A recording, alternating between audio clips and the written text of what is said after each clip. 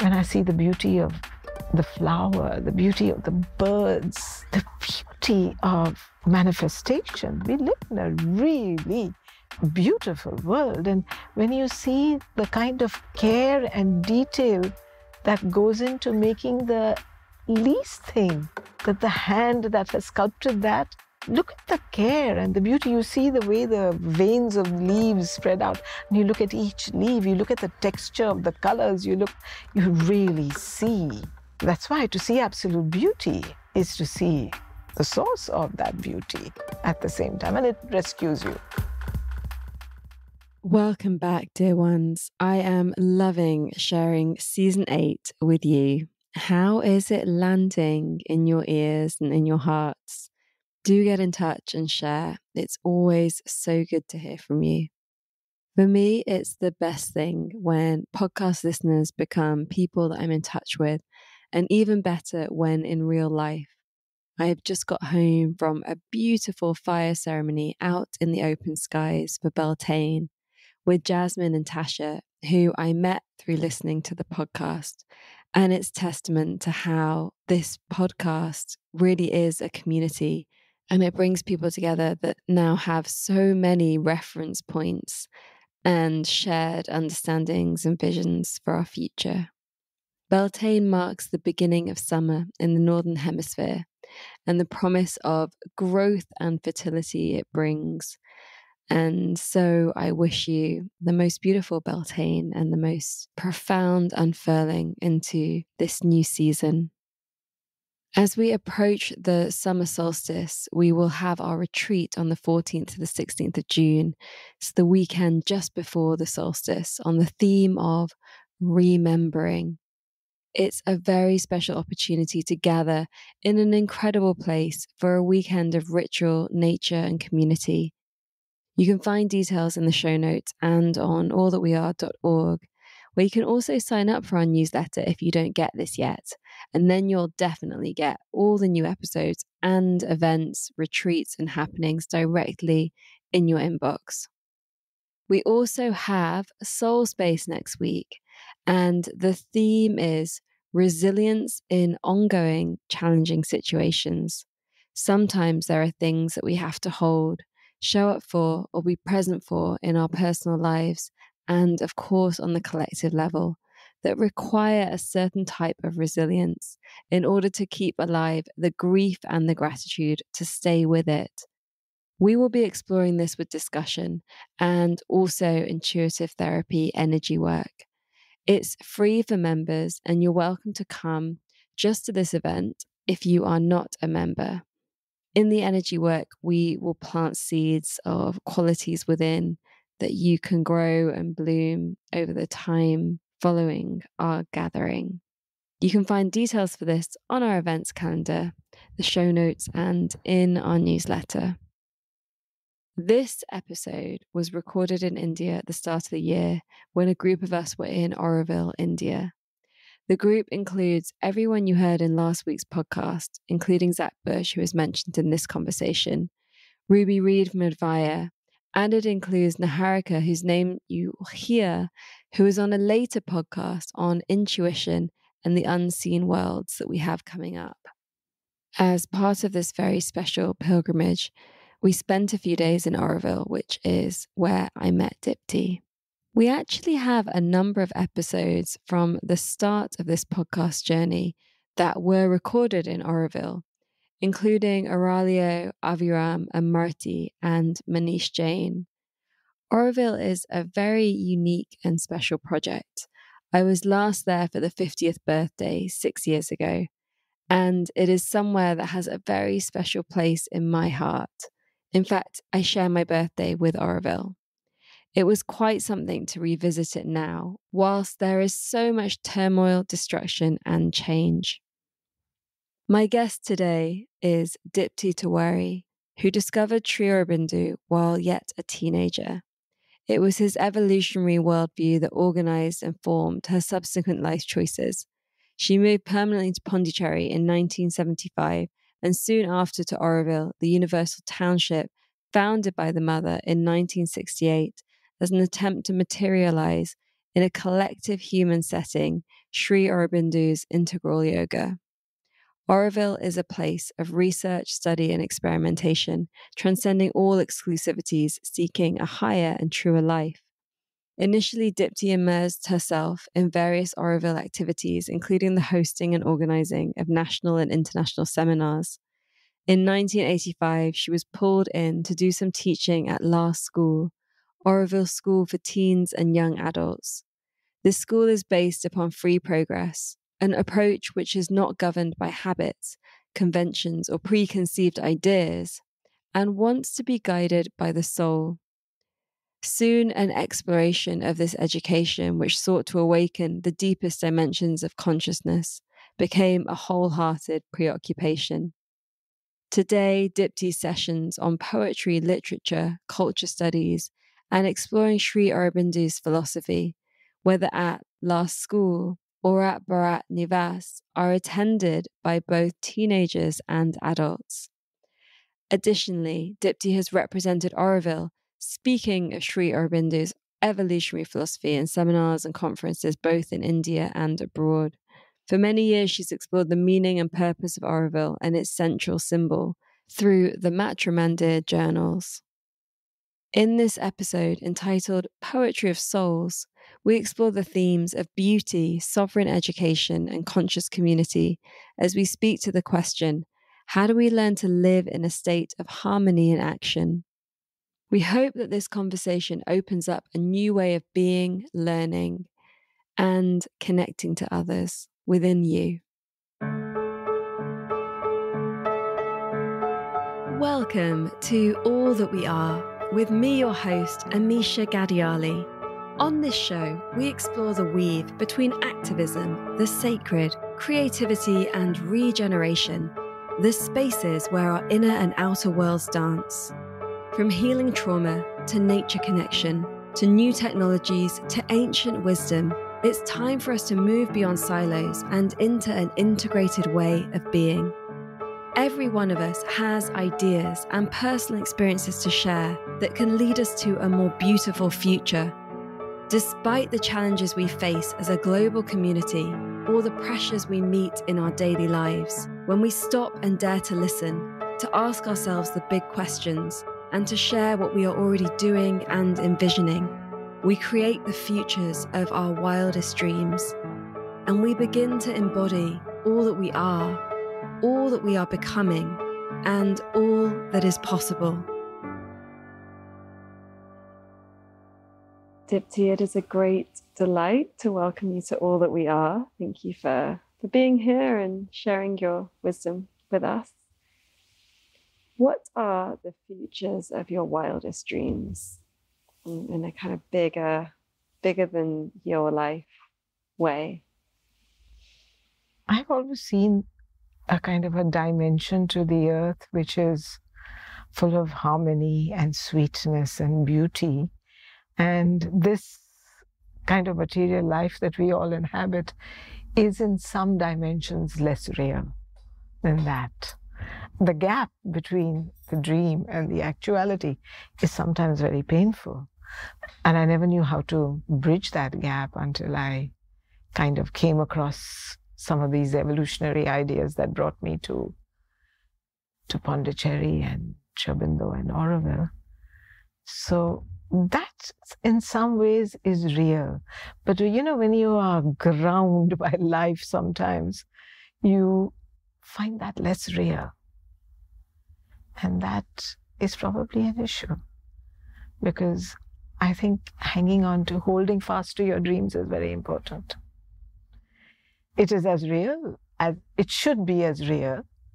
But sometimes as you get older, you say, oh my God, Am I going to see it? Am I going to feel it? But it exists, but it doesn't exist necessarily on the material plane. It's the issue. But we all, in some parts of ourselves, inhabit that dimension. The point is to bring it into manifestation and not at the same time not be impatient about the fact that it takes so long to do it. Why harmony? Because almost all problems of existence are problems of uh, things not meeting harmony is when everything finds its right place. And in a sense, we create this meshing of oneness that we are in one dimension. We need to bring it down into manifest planes. And therefore, harmony becomes very, very important. Harmony of thoughts, harmony of emotions. But I would put harmony and beauty very close together. So, harmony and beauty of thoughts and emotions and uh, walking together on a, on a pathway that gets created by that harmony and beauty is, is important.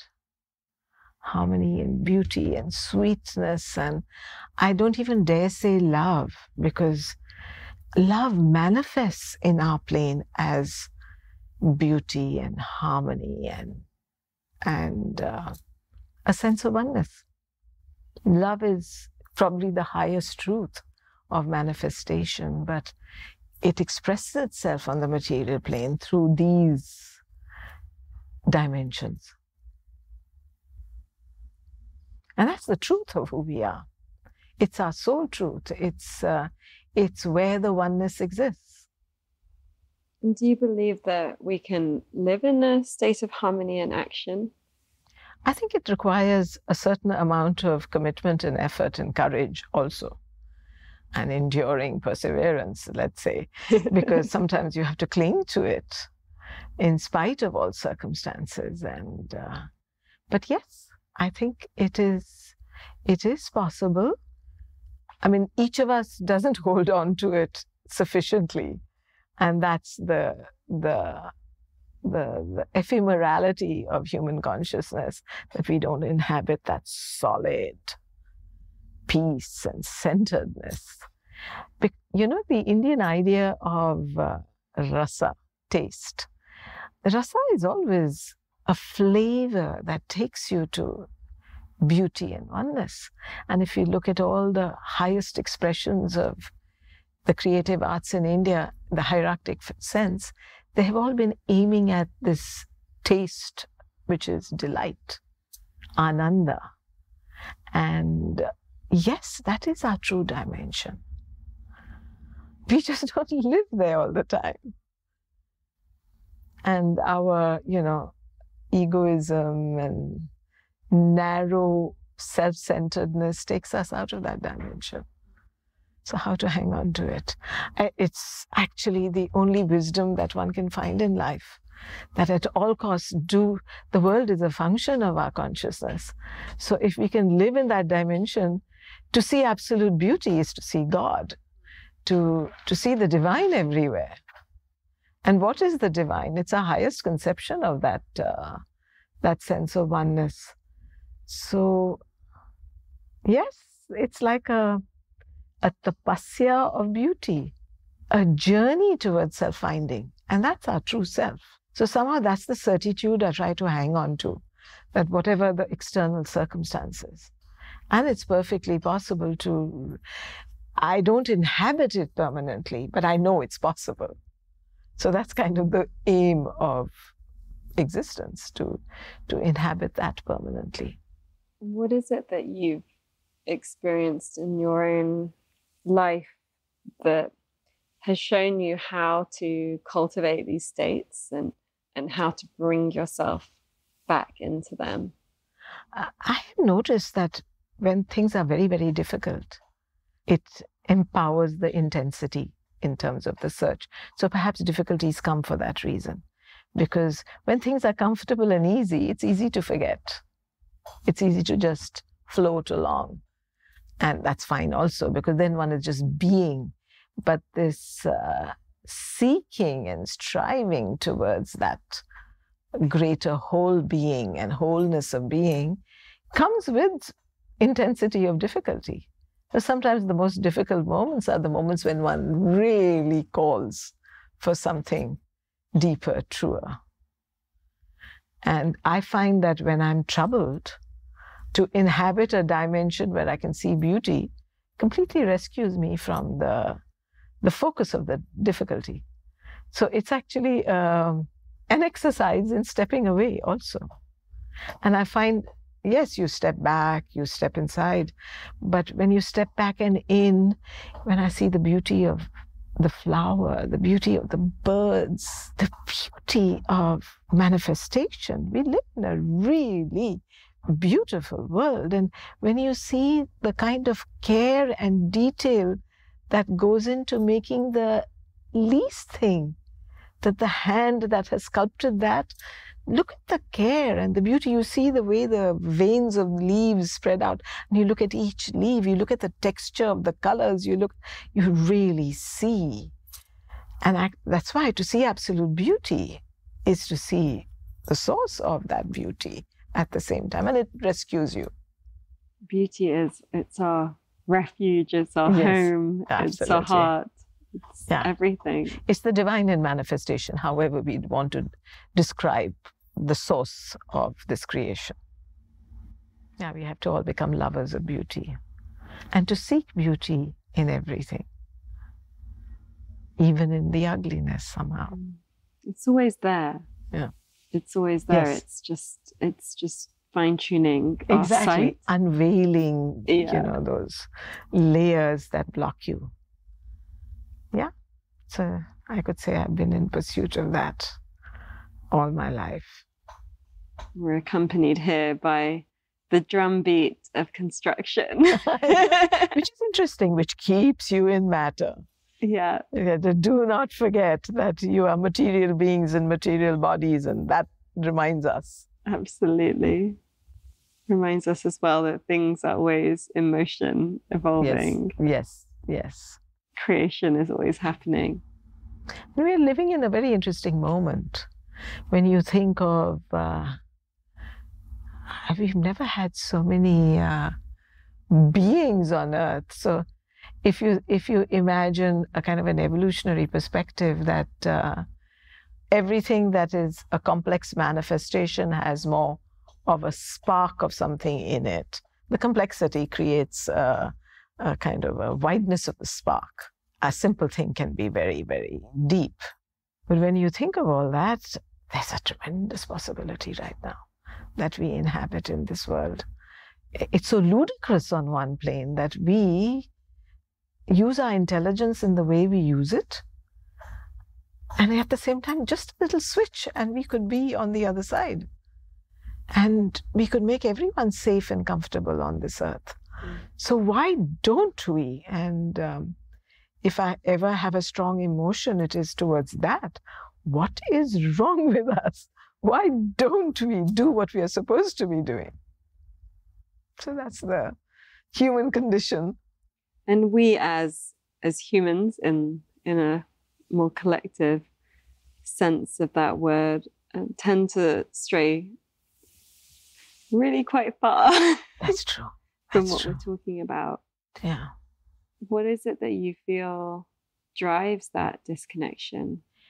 It's this, you know, you have this little self, and the little self is governed by small emotions, you know, the little angers and the jealousies and the, I mean, uh, literature is full of illustrations of the, I mean, Shakespeare manages to give you all the like archetypes of you you go down the dimension of jealousy or you go down the dimension you have an othello or a macbeth or a you have all these characters that are archetypes of what happens when you inhabit that consciousness and actually in the indian languages we say anger came into me gussa aya which is interesting because it's not as if it comes from you it comes into you. So the language itself gives you the possibility to say, I am not the anger. The anger has come into me. Therefore, I can refuse it. I am not the jealousy.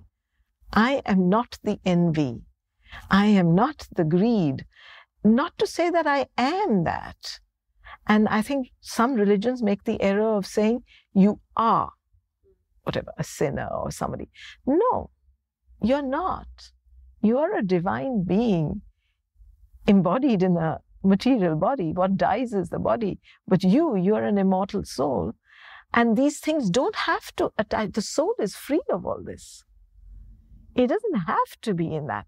So I think if we could go out of the little self and inhabit that great selfhood that we share with everybody else and also the universe, it's just a kind of a switching of the needle, the compass needle, towards the truth of our being. And I guess that is the tapasya we have to do. Beyond all philosophies and religions and everything, it's actually a very simple thing we have to do. To say, I'm that. I don't have to be this.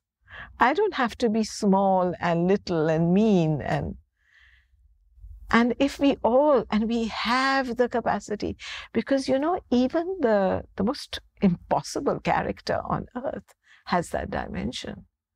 You can touch that dimension. When you really reach somebody you find that dimension. You find this beautiful spark that is growing inside that person. I mean, it is true that modern life is organized to keep your eyes turned outwards. So, what we say, Bahiri Mukha, we look outwards. We need to look inside because all the solutions are within us. And if we turned all those energies that spend so much of time running all over the world achieving what I don't know because when you think of the ephemerality of human life it goes away so fast you you are young for a very short time and before you know it your body has aged. It's so transient. Why do we run after things that are transient along with the transience?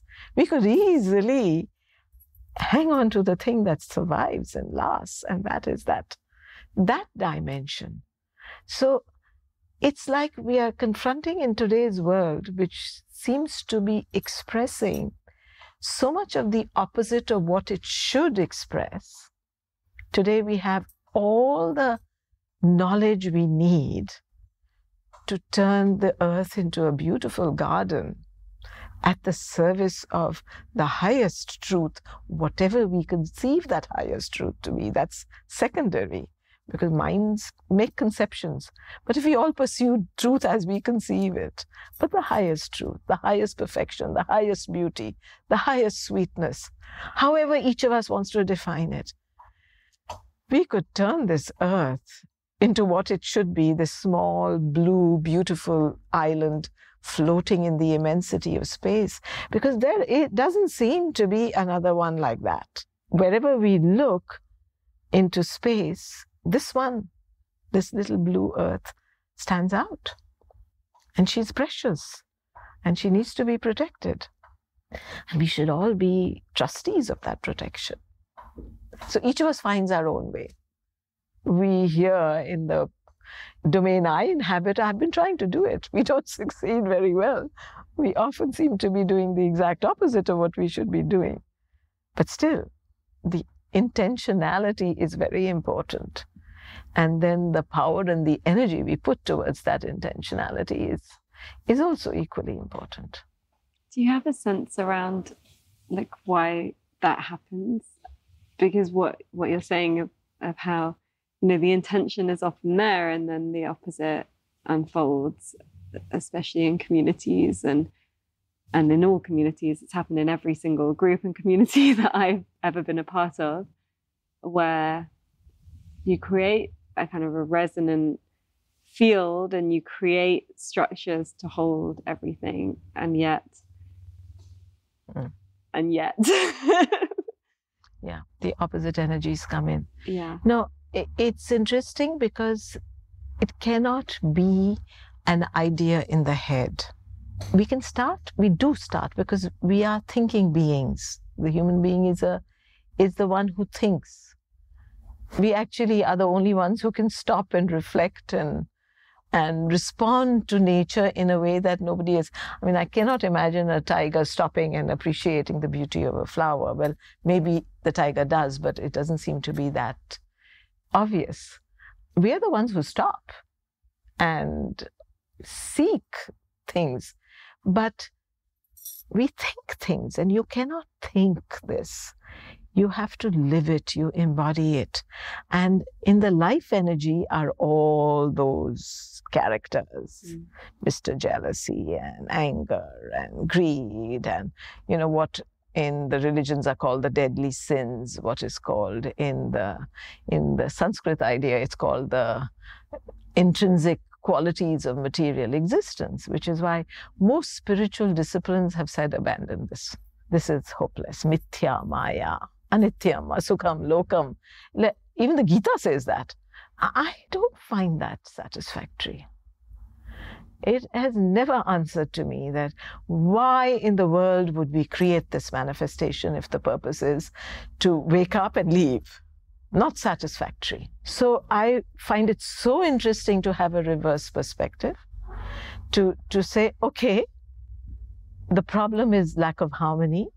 The problem is because there is no meeting, we've got to harmonize these negativities we have to put them in their right place. So, this vitality that surges out in an egoistic manner, it can equally surge out in a manner of self giving. And sometimes in the same individual, the two energies coexist. You can suddenly be the most generous, self giving self. And we do that, you know, when we love, when we genuinely love people, that love transcends the difficulty you know, sometimes you cannot stand your family. You don't get along, but there is a level of connection and trust. So we have to create that sense of family with everybody. And actually, the Indian tradition has argued that Vasudhaiva Kutumbakam, the whole world is one family. It's a spiritual truth, but it isn't a truth of life. It isn't a truth we live. And yet we can live it. But you cannot just live it by saying, I'm going to live it. You have to work at it. You have to work every second of the day, every day of your life. It should be the main focus of your life.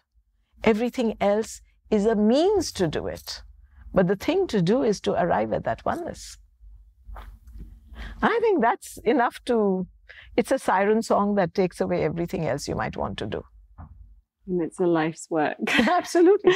And you may not achieve it in a single lifetime, yeah. but it's a journey that continues. So the Indian idea that punarapi janamam, punarapi maranam, you're born again and again and you die, and it makes sense because you don't have to believe in rebirth. The world is not explicable if there is no pattern of returning. And so the more you can develop in terms of consciousness, the more you can bring back to your next lifetime. So nothing is lost. Everything you achieve in a single lifetime, you carry over into the next, and you can start from there. Now, one part of me gets very irritated with that idea because it takes you 18 years to wake up to meaning and purpose. I mean, on an average, you begin to ask such questions. Luckily for me, I started asking them much, much earlier and some kids, if they remain intact, they never stop. So like, actually, I was going to say that. Yeah. Acceleration would mean creating life conditions where children inhabit that dimension. They never lose it. They begin to find meaning and purpose from childhood.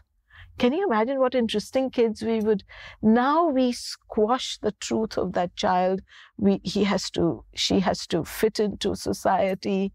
You begin to fake it, you begin to pretend, you begin to lie about who you truly are.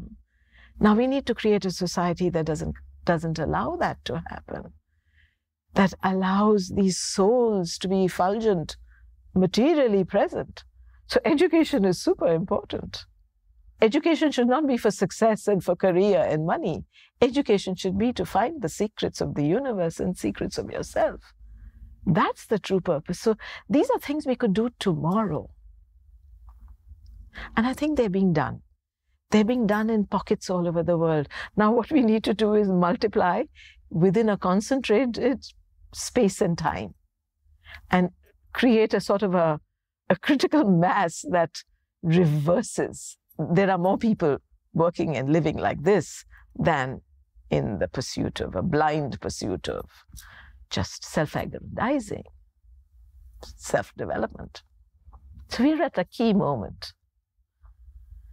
And even though things grate, things grind sometimes, I'm hoping we will succeed.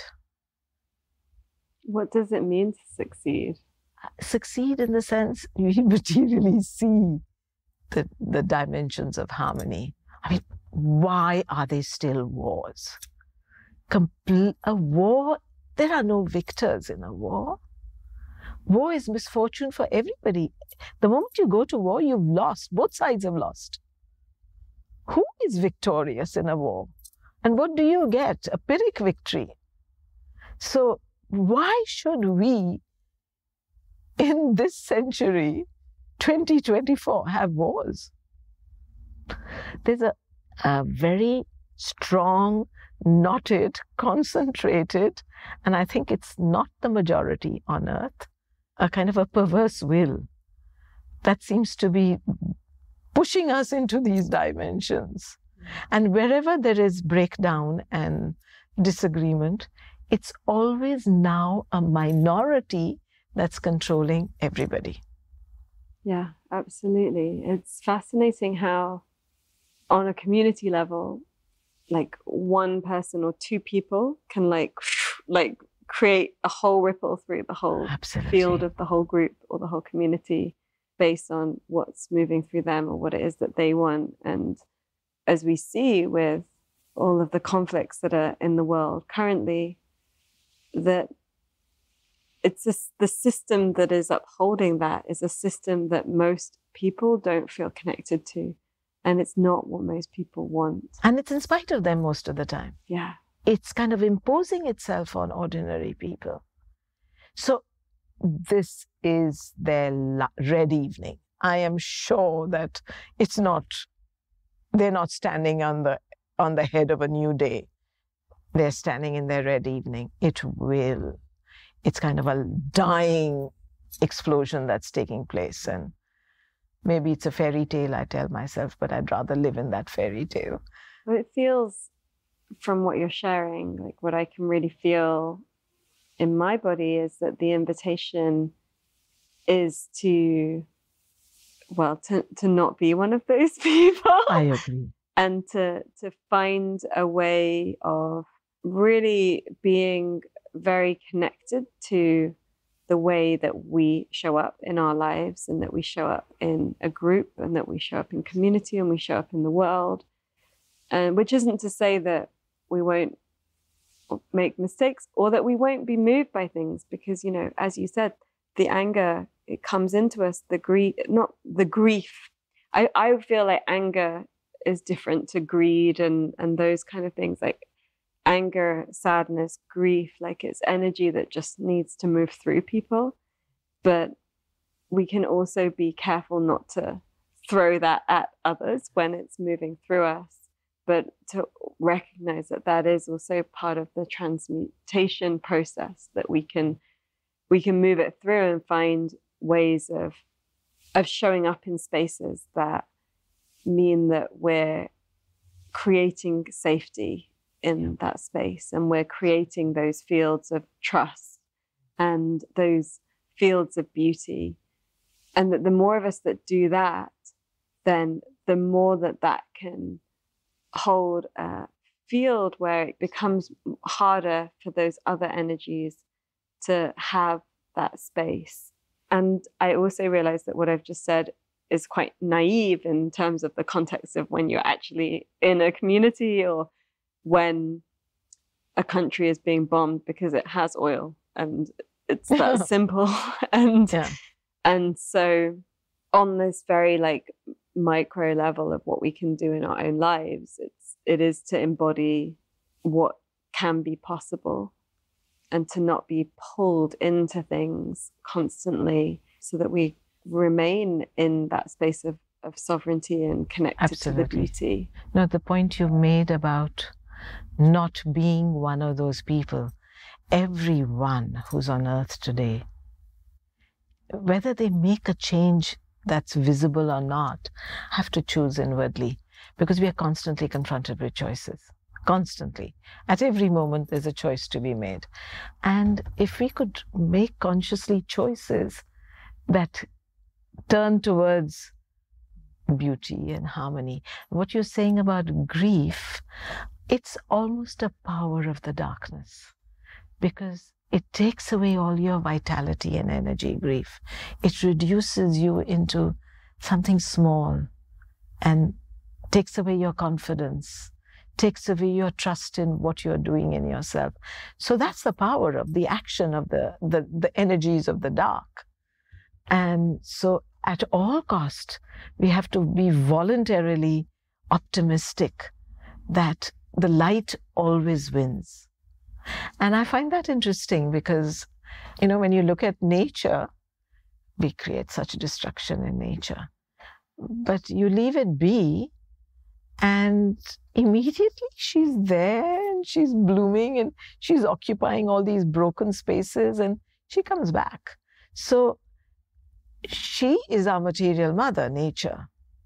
And I feel this material mother, that is nature, exists on each dimension, the mother of that dimension. So I trust this energy and force. And I trust that if we can just give ourselves to it, it will direct us, use us, find a way for us to lend ourselves to that which builds rather than that which is dying and going out of existence, even though it seems to be dominant. And so we have to be optimistic. We have to be trusting that Earth doesn't get destroyed, that humanity will evolve beyond this, this destructive phase, this pygmy mentality. And I don't mean people have that pygmy mentality, but the dominant powers do. Mm. What's the pygmy mentality? It's like you don't have that wideness and openness that consciousness should bring.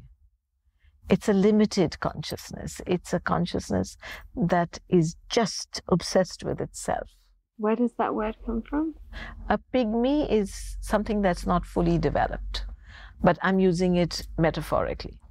A mentality that's not grown into the wideness and the. Because a truly developed mind is always open, hasn't decided, receives the circumstances of the moment and responds to them in that moment. You cannot have preconceived ideas because everything is always different. Life always gives you something new. The past is the past. So you have to have an openness towards the future and an open mind, a mind that's not closed, a mind that's expanding and widening is the best kind of mind at the service of life. And then a life has to be open hearted, generous, self giving. I mean, we know it all. As a species, we've understood what is needed. We're just not living it and doing it, is all. And we say it is all, but the consequences are quite huge at this point. Exactly. So I, I actually, when I'm in trouble with my thought, I turn to poetry. And, you know, we've turned poetry into something that's just added on. And yet, poetry embodies sometimes the the best ideas that you can imagine. I don't know if you've um, read this poem of Walt Whitman. He he writes it at the time when the Suez Canal is just opening, and it's called Passage to India. And I, have often spoken to people from the United States, and I've said, "Have you read this poem?" And often they don't read it. So it's one of the poems that is not so focused.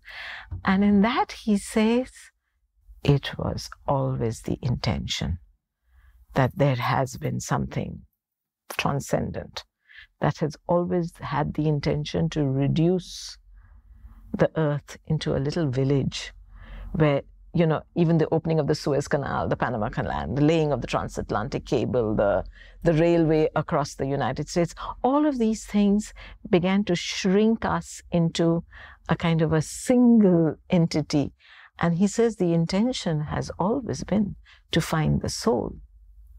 And that from the beginning, this has been the intention. Well, if this was the intention 150 years ago, it's now fulfilled that intention. Now we are facing some of the negative issues of that, whereas it should only be positive because that has been the intention to bring us into being one people. All sentient beings are the same expression of that divine spark that started the. And so he ends this poem, Oh, my brave soul, oh, Father, Father, sail, are not they all the seas of God?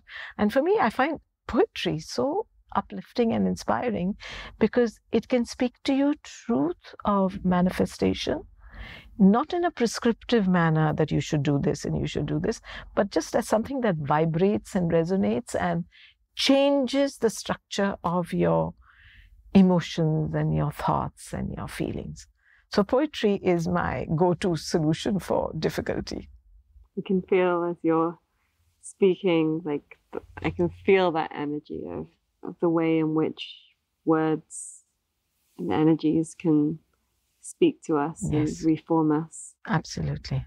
And the Upanishad says it's a delight. It's delight that's created the world. And we are just forms and manifestations of that delight. And so when you touch delight, you touch yourself. Ananda. So everything is vibrating, pulsating with that energy of delight. And so I'm constantly trying to nudge myself back into that dimension. Oh, it's the hardest thing on earth to remain in that dimension and remain in a physical body, into this, you know, the body that ages and dies at some point in time. But so I am not my body, but I mean, I value this body because it's the the Indian idea is shariram khalu dharma sadhanam. When you are in the body, you can develop. So the body is the key. So how to create the beautiful body of the earth, the earth body.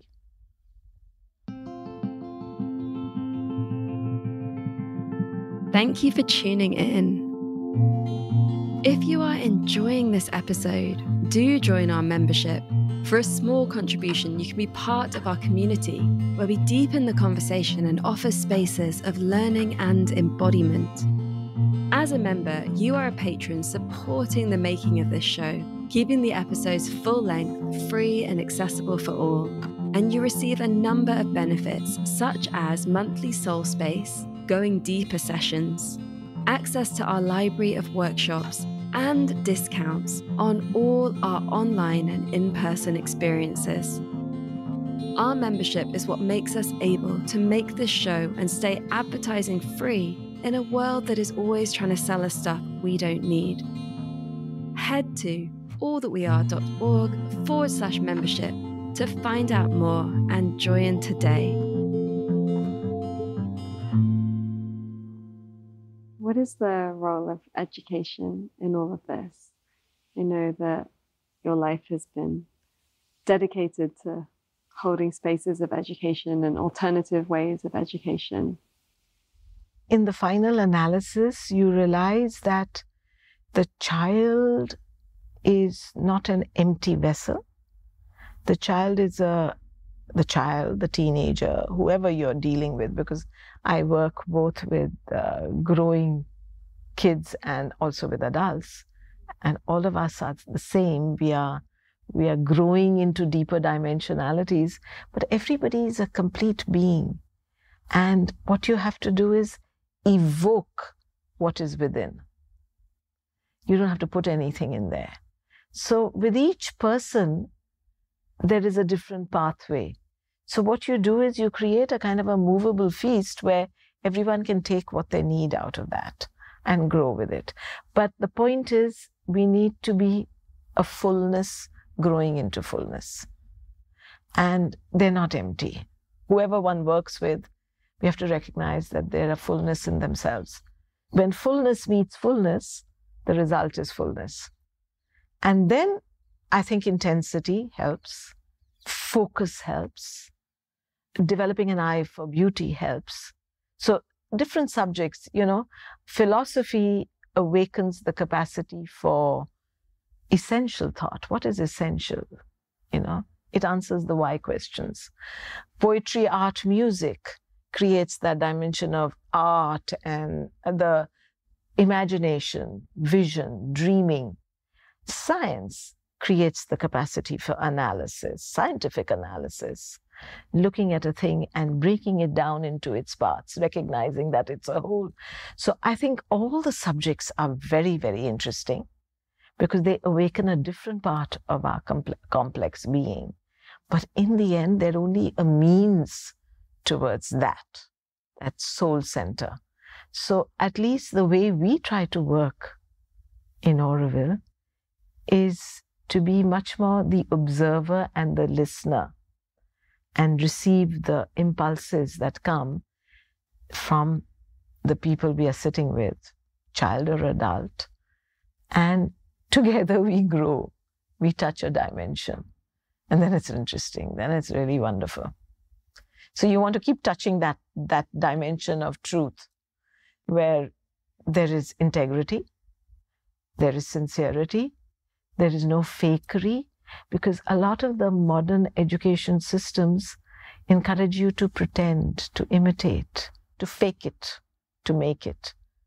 And often, when you're aiming towards just success, to be successful, sometimes you have to be pretending. To have a career, you sometimes abandon who you truly are. And to make money, actually, if you develop yourself, money will come to you. It's an energy, it's a force.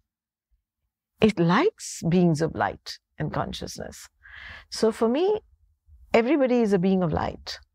It's just sometimes we are obscured, we ourselves are obscured. Mm-hmm. And so somehow education should be a process of unveiling together our lights.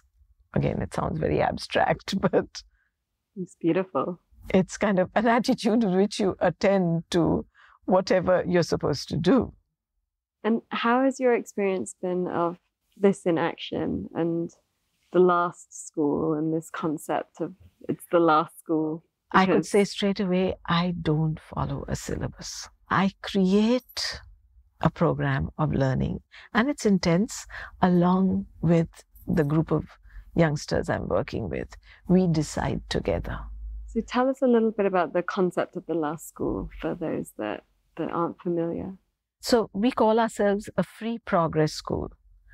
And free progress, if you want a definition, is an education that's guided by the deepest dimension, the soul dimension, but it's not subject to habits, to conventions, and to preconceived ideas. So we take away the syllabus that might exist anywhere in the world.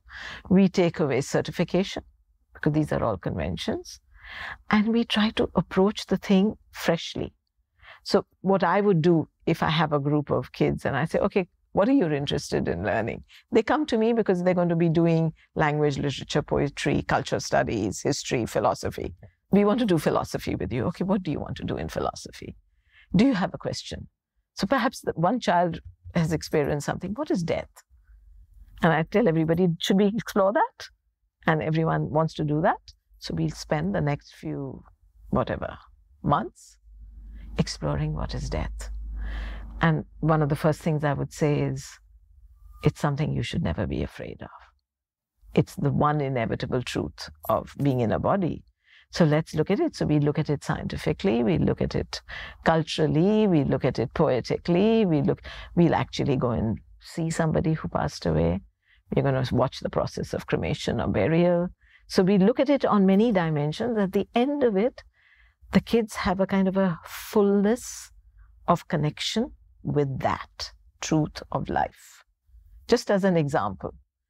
And I think it's a very, very important truth that kids should know, just as they need to know about life. You know, city kids don't even know where milk comes from. Our kids in Auroville grow up with everything. They can deal with a snake. If there's a snake in the house, they can deal with it. They know how to deal with nature. They know what nature throws at them. They can always address it and deal with it. So, life itself is our field of learning, but An intellectual understanding of life can come through the study of the sciences, can come through the study of literature, of history, of and again, when we look at a place like Auroville, which is a universal collectivity, history can't be taught from a national perspective. It has to be taught from a human perspective. So, what we do is we look at the world and we look at luminous periods. If you look at the world historically, there always, there's always a period which has got a shining light. The Renaissance in Italy, oh, Athenian Greece. Now, of course, history cleans up all the negativity, and what remains is all the positive aspects. So we look at that. We look at the golden age of Islam, for instance. We look, and in the process, we are looking at things that may be an issue today, but you get a perspective from the past to the present. And then maybe the question arises what happened? When did it go wrong? Why did it go wrong? So then we look at why. What happened?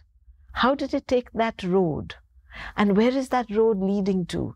So you end up with fundamental questions that develop your capacity for discrimination, for discernment, and finally and only, most importantly, synthesis. That you've got to harmonize the opposites, because if you want to be in pursuit of beauty, you've got to take the opposites and harmonize them. So, in a sense, um, we are aiming at a wholeness through whichever subject, and we have all the subjects. And through that subject, uh, when we do, for instance, uh, uh, a week of creative art, all the teachers become students. So suddenly the message goes to the kids that it doesn't matter how old or how young you are, you're always a learner. Auroville is supposed to be a learning society where everyone's a student. And as quickly as possible, if a child is really good at something, you say, why don't you teach it? You know, so and so is not so good.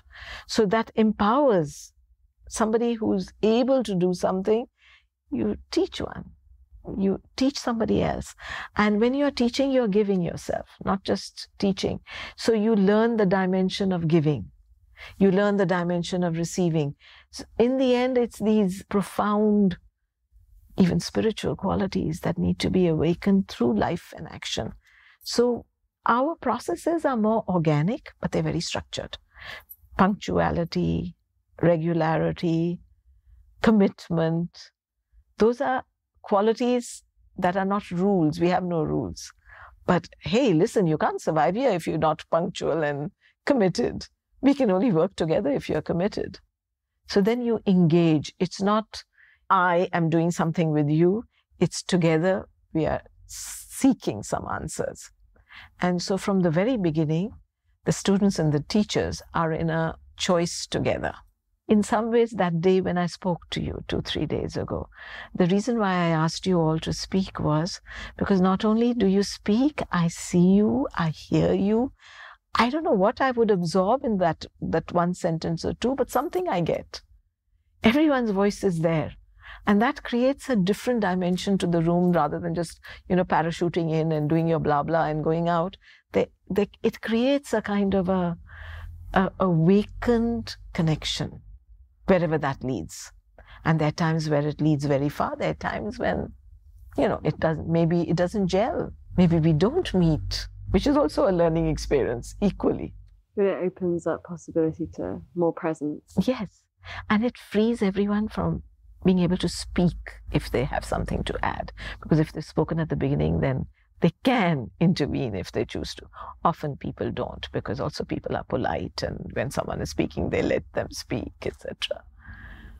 But there can be more room for lateral learning. What have you seen in students from the last school and how they've then moved in the world? I find that I don't just say Last School, I would say Auroville youth always find a place in the world because they are based in life much more than in thought. What happens everywhere in the world is you are trained and then you're kind of thrown into the big bad world and you have to start learning again how to adjust to the world. The Auroville kids don't have to do that. They may have to learn academic stuff because they may be a little, not necessarily, because sometimes we are doing stuff that you would do at college level or something like that, but uh, they can deal with life. They know how to deal with it. And so they fit in, they manage. I don't, at least in all the years I've been teaching, I have found very exceptionally someone who is completely in trouble. And then that's almost a psychological condition and not anything to do with uh, what was done or given, because there can be kids who are a little bit messed up. But that's almost in spite of everything else that took place. It's just something to be worked out in the nature. And that's true of every environment. Yes, exactly. But that's painful still. I mean, I don't like that kind of a situation. And somehow we should have a healed standard for everybody. But not all the beings who are embodied uh, come into birth in comfortable situations. They have. There's still a lot of suffering that's uh, received and imparted. And not all learning environments, no matter how alternative they are, are right for everyone. Yeah. The other thing that happens in Auroville is it's a place for transformation, for change. And we never really understand enough that if you look at in uh, nature, the best example for transformation is you take a caterpillar and his life is just to go along the branch, eat, eat, eat leaves, eat leaves, and at some point in time it's eaten just enough leaves and it goes into this chrysalis. And then it's in that chrysalis, and just when it's ready, not a minute before, it struggles out of that chrysalis and we get a butterfly. If you cut that chrysalis, you get a rotting caterpillar. So what happens when people come to Auroville is they have been somebody or something. They've created a, a persona. It's not the true person, but it's the persona. And they come to Auroville and immediately that persona gets disturbed because there is a force field here that's aimed at change and transmutation. And so, how do you change? You have to bring things up. Transformation is disintegration before rebirth. So, sometimes if you identify with that which is breaking down, it's painful. If you can identify with this, you know, like a trapeze artist, you're flying through the air with nothing to support you, and you will find something to support you, your, your new self, your true self. You're emerging out of something. You're sloughing off the old skin. So we have all these examples in nature. And but it's very hard to live it. And it's you have to live it, you don't think it. So it roils your life energy.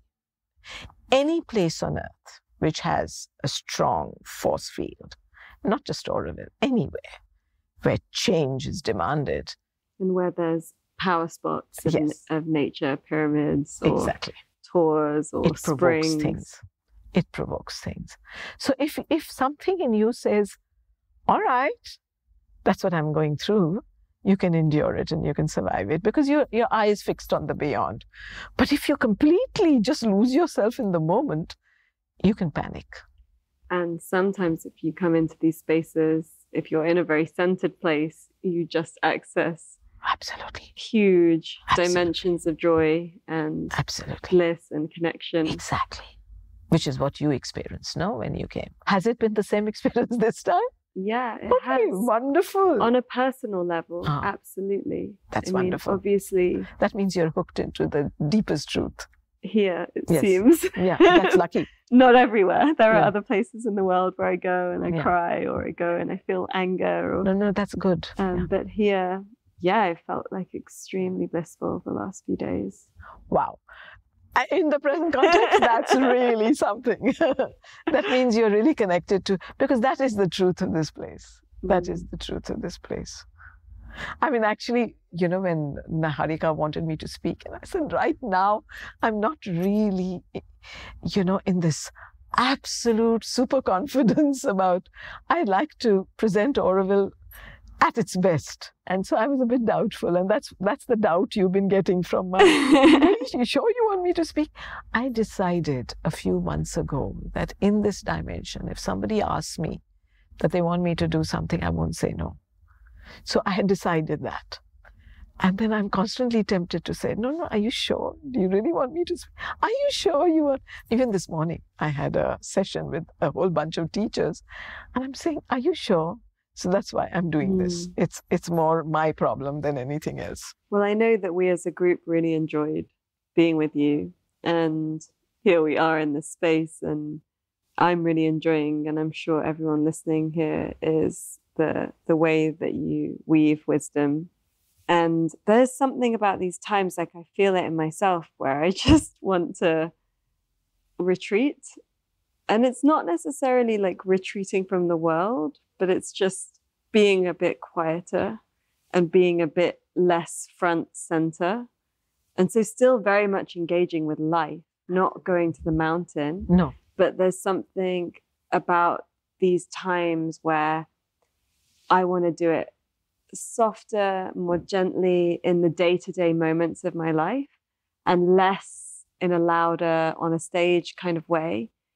And yet, I also feel that when asked, you can't the answer is yes, yeah. because you have to trust. You have to say yes that, to the universe. In that energy that's yes. asking you to do yes. that. No, particularly if you have a good contact. So that day when we met, I mean, we met literally, I, I resonated with all of you and with you and with Zak and everybody. And then I'm saying, oh, Deepti, why are you always second guessing?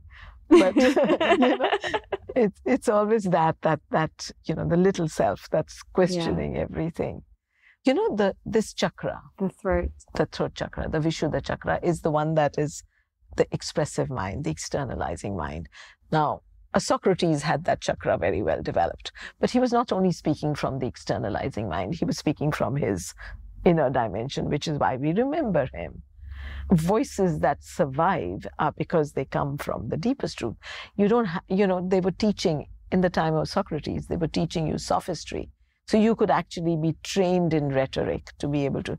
So sometimes when one can speak well enough, one can end up becoming rhetorical and that's dangerous because that feeds the ego. So that is the question I had that mm, you're not always in the best state. Do you really want to speak? Which part of you wants to speak? And so sometimes for me, the measure is the enthusiasm from the other side. so, you know, one doesn't know how to measure this. I mean, maybe all this is not for the pod. I'm just telling you. I don't. I don't know. I mean, we've entered a slipstream and I'm like, is it for the podcast or not? And and maybe it is because maybe there's a a truth in in that understanding. It's like that that kind of questioning of of the the why and that is this is in integrity and then not needing to always just take up the space because there's space there. But there's something that's different around saying yes and showing up and trusting when you're invited somewhere that you have something to offer into that space. Exactly. And it's quite a different consciousness. And it feels like a shift that has happened that I'm definitely experiencing in myself. And talking about it with you, I feel like maybe it's also a global shift that we're experiencing of coming out of that like loud to be seen, like that kind of energy into something that is more subtle and grounded and rooted in the heart and allows for what we were talking about earlier on of how do we then be in connection, in community, in our wider politics, in all of it, and be part of this shift. It is when you're coming from it, not from that place of like, I need this. Like, I need to be giving the talk or being on the podcast or even hosting the podcast I to agree. just, well, this is because happening. there's enough wisdom already there in the world. There are enough words already. So I think of a dimension where words are bouncing off each other endlessly. So we need to touch a dimension of words that inhabits silence. I don't know if that paradox works. I feel where you are, and and I also feel that when we get too attached to words of the past, we miss the words of the present. And for me, like coming into a community like this one, where there are two people that are not in their bodies who are quoted endlessly, it makes me question what wisdom are we missing from that person that's quoting those people. Yeah. Because there's living wisdom that's alive, that's of this moment, that is maybe influenced by voices of the past, but is equally influenced by energies of the future, and that is in this here moment. And so I believe that is why I do this and why we're here, because that wisdom of this present moment has the power to transform us in a way that wisdom of the past cannot. That's true. But you know, Mother and Sri Aurobindo are constantly saying that you don't have to know them. It is a choice of an individual to choose somebody as the master of your yoga or as your guru, as your guide. But actually, there is something happening worldwide. You don't necessarily need to be connected to a particular guide to do that. But the guide can help to align all the confusions that each of us inhabit in different dimensions. As Shakespeare says, there are lessons in stones. So, in some ways, if you are completely open and receiving, you will get what you need to get at every moment. It's true. Absolutely. And that wisdom, you know, it may come from reading a book by a great teacher or visiting the ashram that holds the energy of a great teacher. But it also comes in, in the moments of connection in our day to day life. And it comes in moments of connection to nature as we sit by a tree. And there's a nuance that isn't always embodied of where a guru or a teacher or a community opens that access point of our own divinity, wisdom, intelligence, intuition, empowerment, creativity, courage. And sometimes that attachment can actually shrink all of those qualities within us. That's a journey, and many of us listening will have experienced losing ourselves to a teacher, to a relationship, to a career, to something else, and then having that homecoming experience of coming back into our own divinity and beauty. Yeah, actually, the safest is to give yourself to the vastest, the widest, the truest, whatever is in your understanding the vastest, the widest, the truest. And you grow through that. And it doesn't matter. We all have to find our own way. What do you feel has influenced you the most or, or that you've understood the most from spending now 50 years, 40 years in Auroville? 48, yeah. 48 years and getting to live in this wonderful experiment of an international spiritual community. And i know that that question is so huge and it's not really something that you can answer in a few sentences no i would but... say i'm on a path and regardless of where my body was located that path is i'm cogged into a path. What makes auroville interesting and impossible is that you have to do it collectively. You have to create a fraternity of collaboration, which means you immediately become dependent on your co developers of this journey. It's a physical. I think the problem has been to create a collectivity that is concentrated both in time and in place. Because if you look at human history, human aspiration has always been there but it's been individuals, it's been small groups. Now, I think Auroville extends beyond the physicality of this Auroville. There is a global fraternity of seekers, which I'm not aware of, but we're all meshed with each other. We are linked on planes, perhaps, that we don't consciously inhabit, but we are all calling something of the future down. So I'm part of that journey. You know, when I used to, in the early years, when we were driving back from Chennai, and we would come near to Auroville, I would begin to feel the vibration of the place. I don't anymore. When I would land back in India, I haven't traveled that much, but if I've ever traveled, it's been to do with Auroville. But when I would land back in India, I would feel the atmosphere of India. Now I don't do that anymore. So I said, What's wrong with me? Have I gone a little grosser? Or do I no longer have the sensitivity? And I think it's because I inhabit a kind of a, a wider dimension where it's become natural, like breathing, that I'm at home anywhere. No, I'm most at home here. So I'm not saying that if you transplanted me to some corner of the world, I would feel as much at home. But I think I'm ho- at home in the fraternity of seeking. And so if I could be anywhere where we would be aspiring together, I would feel at home. And that's why I don't quite understand this obsession with making the city like tomorrow. I think it's essential to have enough numbers, but I am unable to uh, wrap my head around this idea that if we make a road or if we make something, we're going to get something special down on earth. I think it's a consciousness that we are trying to create.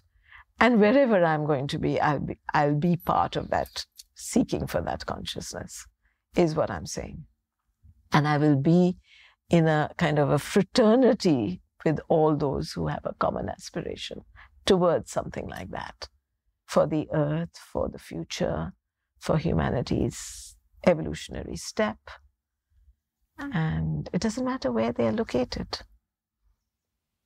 And what do you see as happening in India at this time? Because it feels like an incredibly exciting time to be in India. I mean, of course, there are, there are political challenges here that we're seeing all over the world. Like there's a certain kind of political energy of this time. And we're also seeing that Western power is shifting and India and China like are growing. I would love to hear what you see in all of that. So uh, it seems to me that we are not quite where India is going yet. We are not there yet. But when you are colonized, you can be decolonized physically, but it takes much longer to be decolonized in your emotions and your feelings and your thoughts and your actions. Our education system in India is still based on principles that the British brought into being. Lord Macaulay, he wanted to create servants of the empire. And we just can't get rid of some of those things that. So, on every level, there is a process of disentangling. So it seems to me that on a psychological level, the India that I see, you know, I, am a little bit living in a bubble in Auroville. I'm not quite, Auroville is a little bit its own place.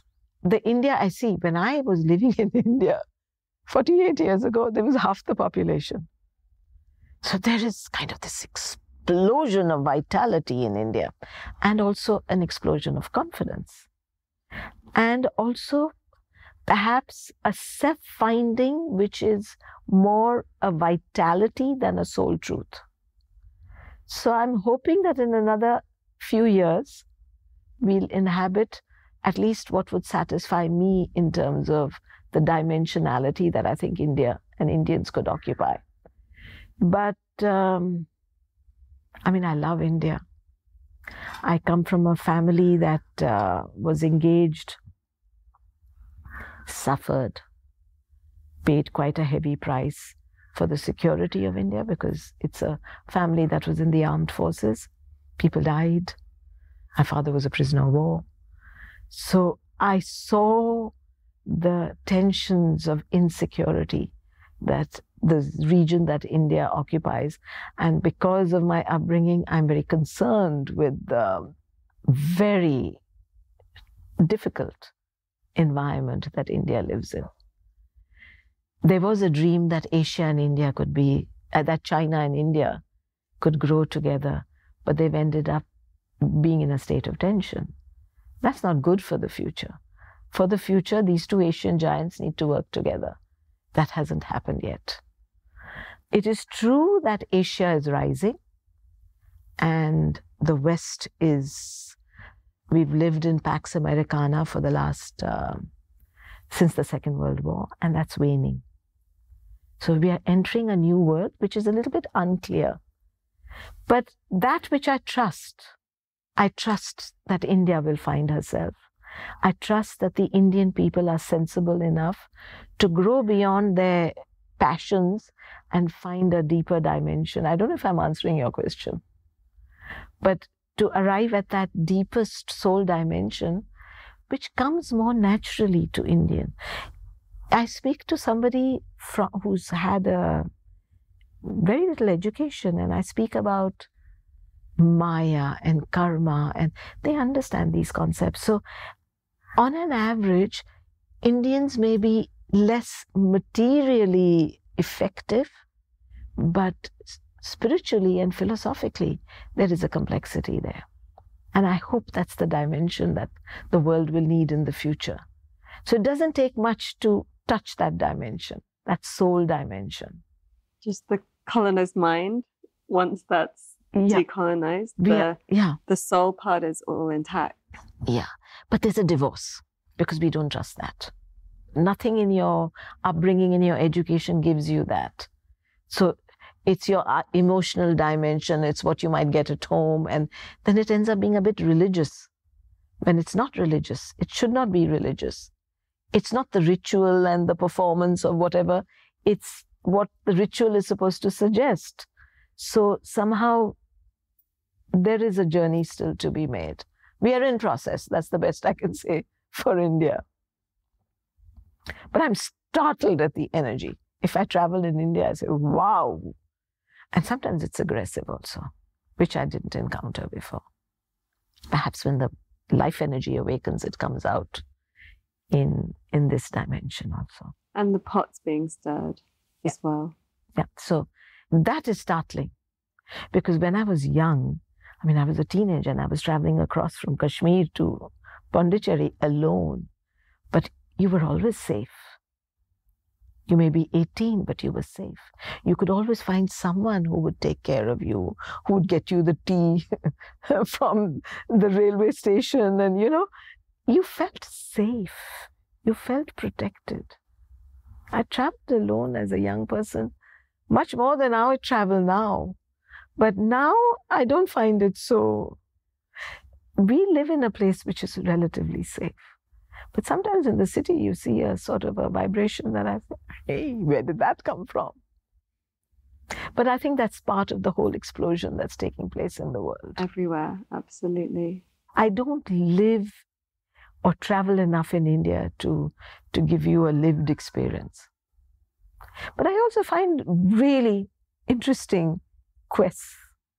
As I, I joked at that, that day with you all in that that for years there were no Indians coming to Auroville. And I was so surprised. Why is nobody else coming to this experiment? And now we are being flooded by young Indians. So something changed. People didn't trust such an experiment when I came. They wanted security and everything. You had to be a bit idiotic to come here. Now it's different. People are ready to risk the lack of security. So something changed. What is the call to action that you would like to leave our friends listening with?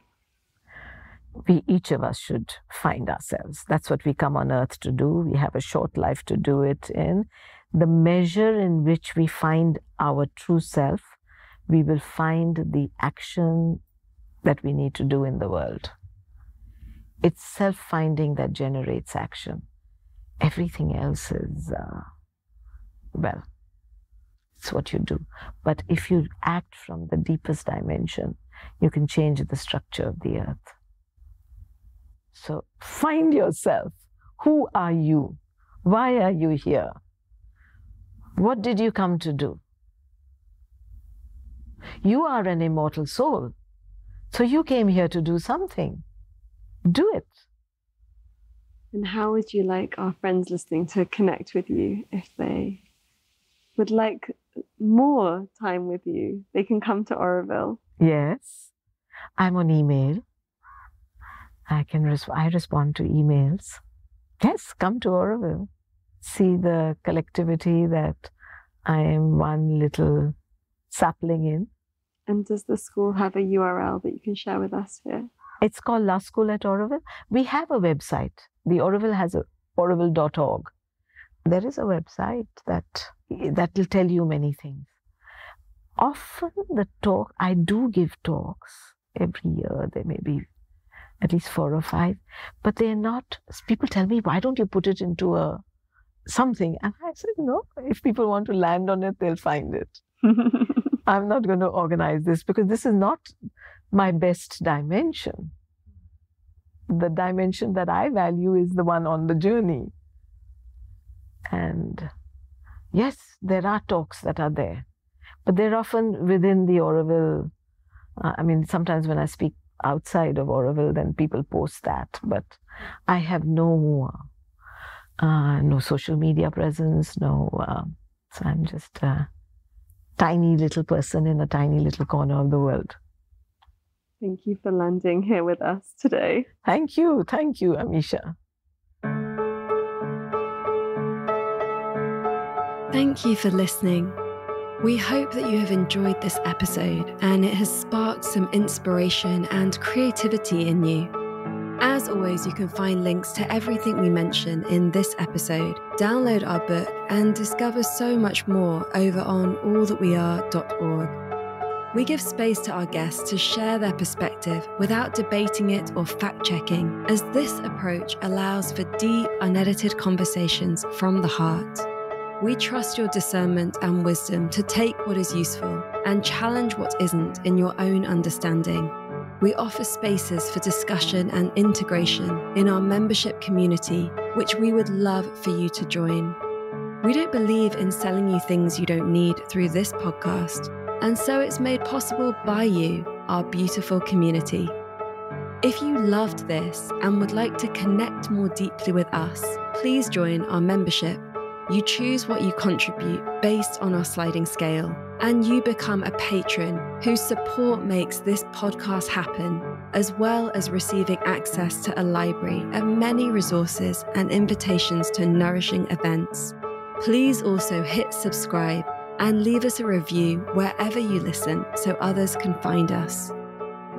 This podcast is made by an all female global team me, Amisha Ghadiali, producer and host, Anna Greta Folderbach, who crafts the words that accompany each episode, and Mary Chan, who edits the sound so skillfully. All that we are celebrates all that we are already and the untapped potential that lives inside us. It invites the full power of the more than human world, nature, the unseen, our ancestors, and our future generations. It reminds us that we never exist in silo, through borders, timelines, or polarity, that in each and every moment, all that we are is here.